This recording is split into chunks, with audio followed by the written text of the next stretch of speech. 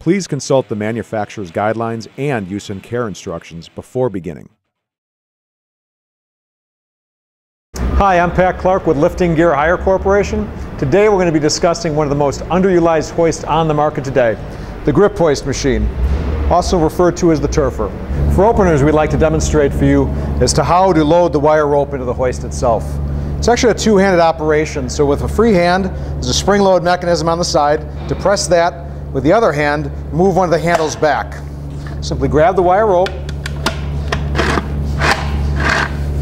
push it through, repeat this operation reverse, and now your hoist is engaged and ready to use.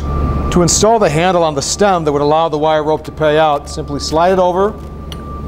There's a little notch there. We'll twist the handle. That will lock into place. Pump and pay out wire rope.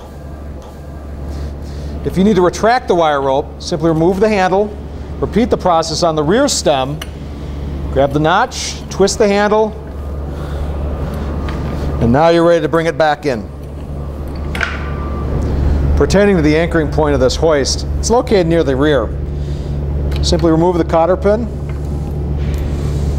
slide the pin out a little bit, re-engage it, re-secure the cotter pin.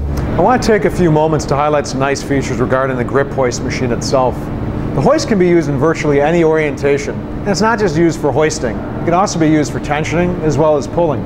And because the hoist operates with wire rope versus its chain counterparts, it can be multi-parted to increase the capacities. We hope that you enjoyed this demonstration and found it helpful. For questions regarding the Griphoist and other products that we rent, give us a call. As a reminder, the contents of this video were for informational purposes only. Please consult the manufacturer's guidelines and use and care instructions before beginning.